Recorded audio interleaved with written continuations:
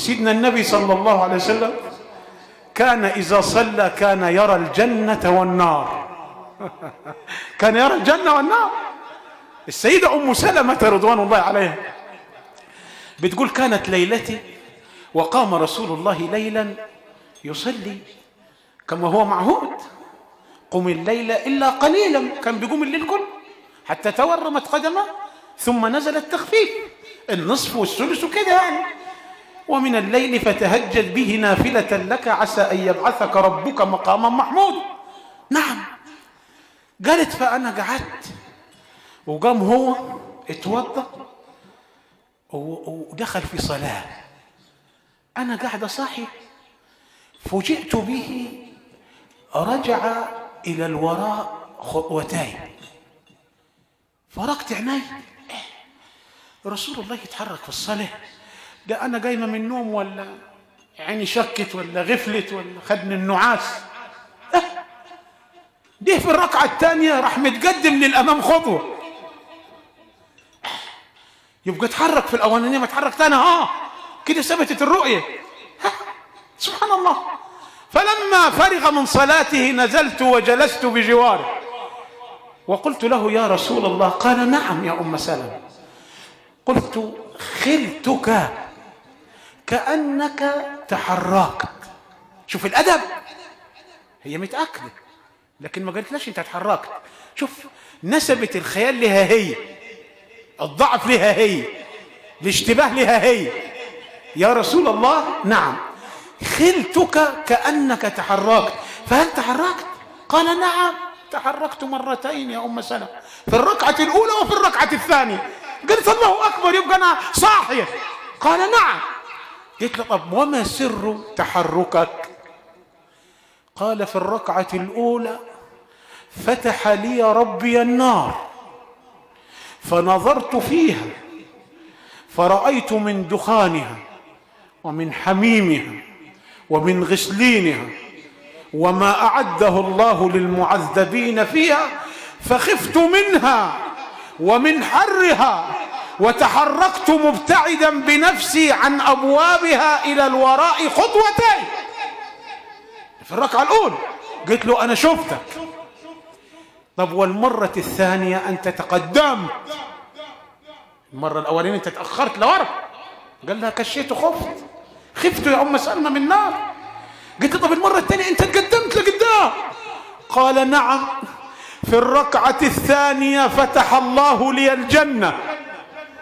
فرأيت من حورها ومن قصورها ومن فاكهتها وما أجرى الله من أنهارها وما بسق من أشجارها وما تدل من ثمارها فوقع بصري على عنقود عنب من عنب الجنة فخطوت إلى الأمام خطوة ومددت يدي إلى العنقود أردت أن أسحبه من الأصل لأعود به إليك يا أم سلمة لتأكل الأمة منه فقالت لي الملائكة مكانك يا رسول الله لا يجوز لك ذلك فإنك ما زلت في الحياة الدنيا. ما ينفعش تاخد حاجة من الجنة يا محمد دلوقتي؟ لا دي حصريا لأصحابها. نزلا من غفور رحيم ما حدش ياكل منها غير اللي يدخل فيه. آه ما ينفعش. لا لا دي خاصة شوي. فقالت له أم سلمة يا أبوي كان نفسنا في العنب بتاع الجنة يا رسول الله.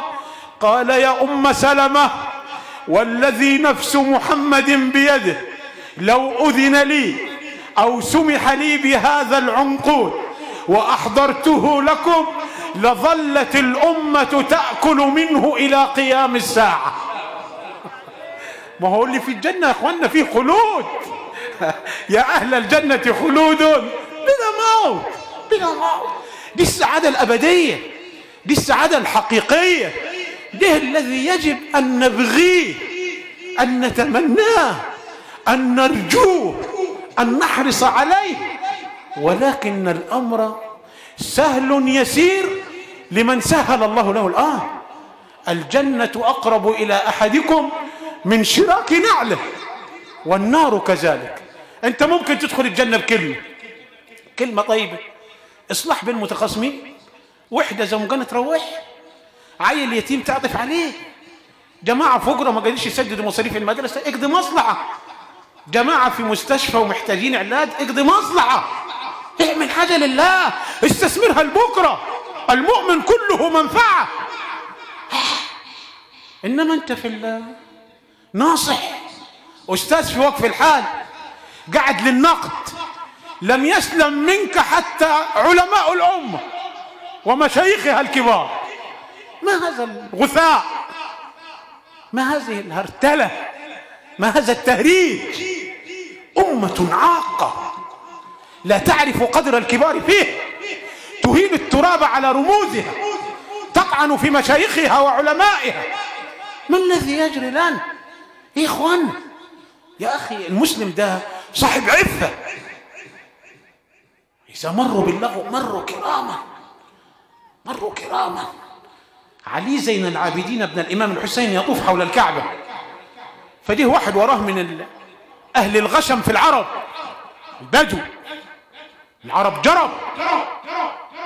فطبعا علي من المسكنة والهدوء والثقة والروحانية ويطوف حول الكعبة.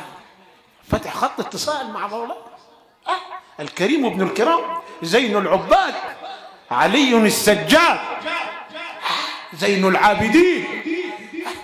الراجل وراه عايز يجيب الطواف ويرميه كربان. زي الذين ينقرون الصلاة كنقر الديوك. عشان كده مفيش خشوع. أه. فلقيه ماشي كده بالهوينة والهدوء والثقة راح دافع. ما عرفاش هو مين. خلصنا. تحرك أيها المنافق. سيدنا الإمام بص فيه كده. قال له هداني الله وإياك. الطواف الأول. الطواف الثاني راح دفعه دفعة أشد من الأولى. كاد عليا أن يفطش إلى الأرض. قال له أيها الإنسان الأحمق. اخلص. لا تعطلني خلفك. قال له بارك الله فيك يا أخي. المرة الثالثة كانت أشد من المرتين الأوليين. وقال له عجل. عجل أيها البارد. قال له غفر الله لي ولك. بدأ الراجل. أنا غلطت فيه مرة واثنين وثلاثة وهو يدعو لي بالهداية ويطلب لي المغفرة وعاملني بأدب. لا لا لا حتى أتم طوافه ثم توجه إليه. وقال له يا سيدي أنا لأول مرة أراك لكن بكل يقين أنت رجل من آل بيت رسول الله. الناس كلها أنت ما مين ده؟ قال دول أعمالهم بتدل عليهم. الأدب خرج من آل بيت رسول الله. الحلم عند آل بيت رسول الله. العلم الطهر الكرامة الاستقامة الخيرية. علي زين العابدين. هذا الذي تعرف البطحاء وطأته. والبيت يعرفه والحل والحرم.